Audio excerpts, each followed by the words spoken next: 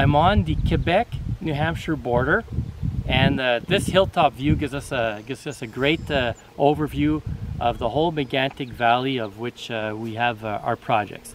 So far behind me is the Mont-Megantic and between Mont-Megantic and here we have the Ditton Placer Channel, we have the Mining Brook, we have the Emberton property and, uh, and just right down here we could also see the village of Chartierville. And uh, this area was similar to our Beauce project, which is what about uh, 100 kilometers north of here, the, our Beauce Gold project near Saint-Simon-les-Mines. Similar is that this too had uh, in the 1860s a gold rush. Uh, and to this day, this area attracts a lot of nugget hunters. And uh, but our interest here is basically to uh, to two things: um, is there undiscovered placer gold channels that could be uh, economical, and of course, the big question where did all this gold come from? Behind me is the uh, Ditton Sand and Gravel uh, deposit. Uh, it's, a, it's an active quarry and it was uh, it was here that uh, Pierre, the prospector Pierre Paquette um, led us to this site here. And uh, every sample we took from here contained gold. From you know gold flakes, grains, up to a nugget, which is quite fantastic and unprecedented.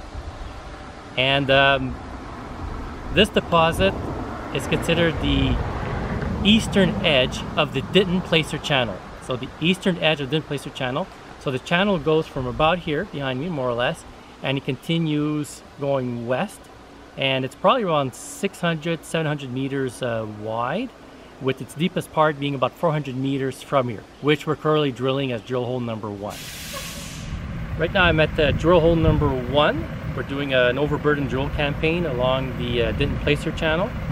Uh, right now we're on Anzus Road and uh, this drill hole is important because it was right across the street from here that we had the historical drill hole 85-7 drilled in 1885 which had gold over 10 meters, placer gold.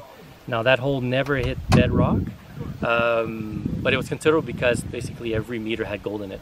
Now even when they took the, uh, the gold grains and the nuggets out uh, just the residue came back from the lab at two grams per ton, which uh, which is considerable. So add the gold grains and nuggets, um, yeah, should be a, should have been an interesting grade. So we're going to see what we have. We're hoping to validate this with this hole right here.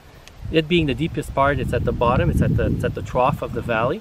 And we're doing two other holes right next to each other, along with the other holes that we did, areas that we did geophysics. Right here, this is our uh, bulk sampling processing station.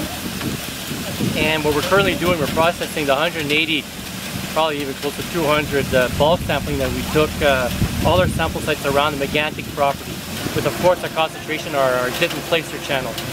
So uh, what, what we have going on here, we have an excavator with a claw. So the claw takes the barrel and we're using a high banker and we have an experienced wash operator which uh, basically washes out the sand and gravel and it's going through the wash plant and through a disc. So the sluice is to make a heavy mineral concentrate, which basically would, would then will be sent to the lab for gold extraction.